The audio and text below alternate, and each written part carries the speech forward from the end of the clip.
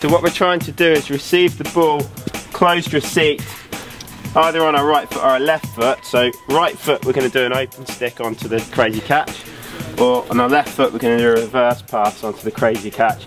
Keep our feet moving, then quick feet as it comes back, and then an early shot away, clip hit, whatever you want to do to try and get it in the goal.